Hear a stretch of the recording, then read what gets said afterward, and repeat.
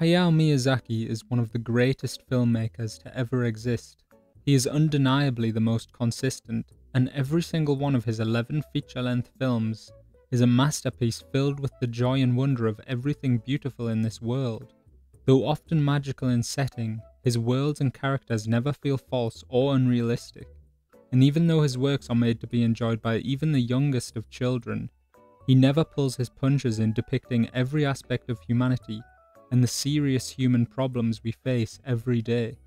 His works are understandably extremely popular, both on his home turf in Japan and abroad, with the English dubs being done by some very expensive names. They're so popular that many people who tell you they don't watch anime will also tell you they love Spirited Away, and many people that anime will tell you Miyazaki is what made them love it, and because of this, his films have been greatly responsible for the growing acceptance of anime into mainstream culture. So why has no one watched his TV show? I don't have a PhD in the history of animated film, but I have seen every film released by Studio Ghibli that isn't Earwig. And while I was surprised to find the relatively hidden Castle Cagliostro that is Miyazaki's incredible first film a few years back, learning about the existence of Future Boy Conan, which may be the greatest work he's ever created, felt like I was an archaeologist unearthing some rare lost artifact only whispered about in shadowy cabals. Much like an ancient relic, when compared to modern anime, the instinctual reaction of many viewers on seeing the footage of this show is going to be, this show is old and sucks balls. But I can assure you without a doubt in my mind that it is as worthwhile and fulfilling as an experience as any of Miyazaki's later works. Essentially, it is Studio Ghibli, the TV show.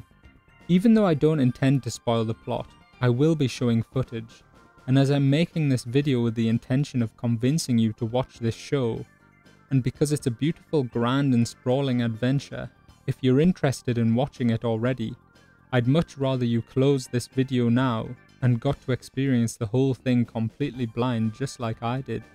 To put it bluntly, Future Boy Conan is fucking amazing. It follows the titular Conan and his exploits in a post-apocalyptic world that has been severely flooded with water after huge moth-like planes completely messed up the earth with electric magnetic weapons 20 years previously. And it's also the happiest and most uplifting TV show I've watched in all my life. I think this juxtaposition is no more well represented than the opening of the show. Every single episode starts with a grim retelling of the global war that split the continents of the Earth apart and sank them into the ocean.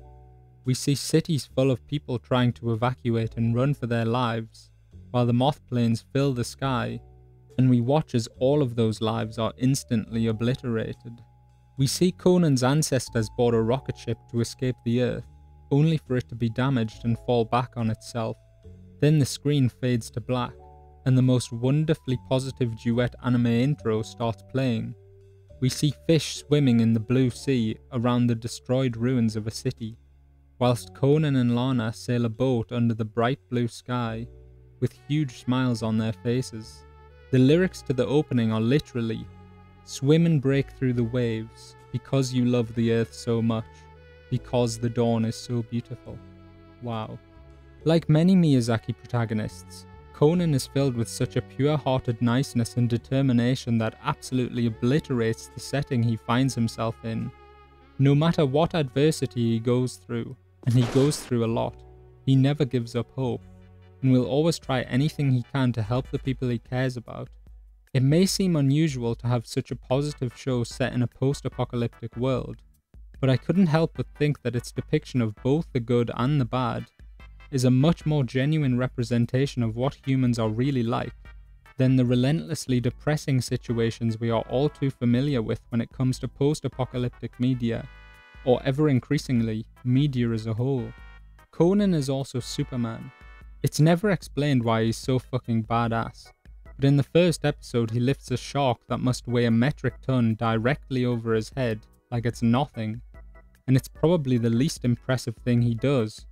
He can stay underwater for a length of time that is genuinely frightening, and he also has the toe strength and dexterity of a ballet dancing monkey crossed with a lifetime supply of steroids. something which is apparent in the relaxed nature of the horrific pose he strikes on the show's promo material.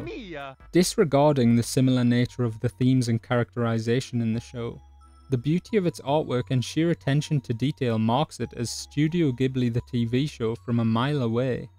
Just like their films, I could pick any scene or frame at random from the 12 hour plus runtime of this show, and it will be a breathtaking masterpiece of beauty and composition. The amount of work that has so clearly went into every aspect of this show made me feel physically sick at times and it's one of the only pieces of media where I can feel the intention of the creators behind every moment. Each location, plot point, and piece of machinery has a thoughtful, logical design behind its existence, and I can see Miyazaki surrounded by his animators explaining why each and everything has to be exactly the way it is, forcing his vision to be realized through them. I mean, is there anything more Miyazaki than a kids' TV show where the characters smoke, Every moment I watched it, I felt more and more astounded at just how well put together every shot was. The Moebius-esque simplicity and cleanliness of the line work coupled with the incredible backgrounds tied together by the tiny dots of dust and faint hazy whiteness of the plastic cell sheets gave me the exact same feeling as the warm crackle on an old vinyl record. I could see the camera recording each new frame as the cells were adjusted and moved accordingly, and the cigarette and coffee strewn desks of the underpaid, overworked 1970s animators whose meticulous labours I was enjoying so much. I could feel the waves of serotonin secreting in my brain as each new perfect moment played out on screen. Something I haven't felt since watching Evangelion, a show which I couldn't help but draw parallels to in terms of quality and presentation. Much like Evangelion, or perhaps more relevantly, Miyazaki's solo and intensely underappreciated manga version of Nausicaa, Conan benefits greatly from having room to breathe.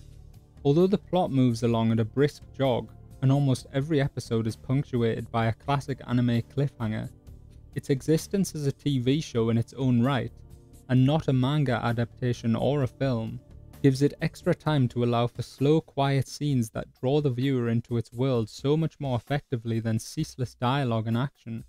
Even disregarding that art critic crap, its 26 episodes allow for so much more shit to happen, and Conan's adventure is filled with twists and turns, with longer and more fulfilling character arcs and interactions, as well as more action, more laughs, and more gorgeous wallpaper worthy artwork. All of Miyazaki's films are a masterpiece in their own right, but with a runtime over six times the length of the average Ghibli film, when put side by side with a glorious globe-trotting glad venture like Conan, they seem almost rushed in comparison. To put it in perspective, when considering Miyazaki's directional contribution to the world, the runtime of every one of his films put together is approximately 20.46 recurring hours, and the runtime of Future Boy Conan is around 12. More than a third of everything he has ever directed is contained within this relatively unknown TV show.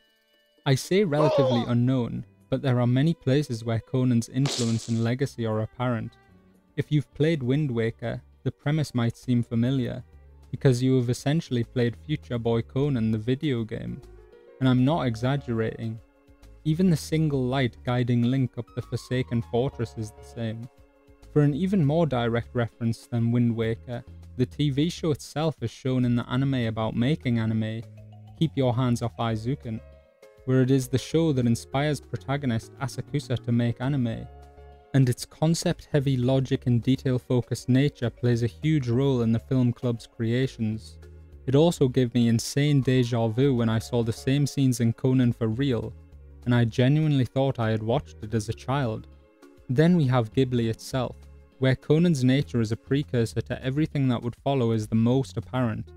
Intricate machinery with a focus on planes and boats, acrophobia being played for laughs, weapons of mass destruction from a time long ago, the importance of living in harmony with nature and those around us, and morally ambiguous villains that we feel sympathetic towards. All of these staples of Miyazaki's wonderful career started in this glorious continent crossing 12 hour masterpiece of a TV show. Thank you to Hayao Miyazaki and everyone at Nippon Animation that worked on Future Boy Conan for making one of the greatest pieces of media ever created. Thank you to Conan, Lana, and Jimsy for bringing back my faith in humanity and warming my heart. And thank you for watching. Cheers. In thin summer.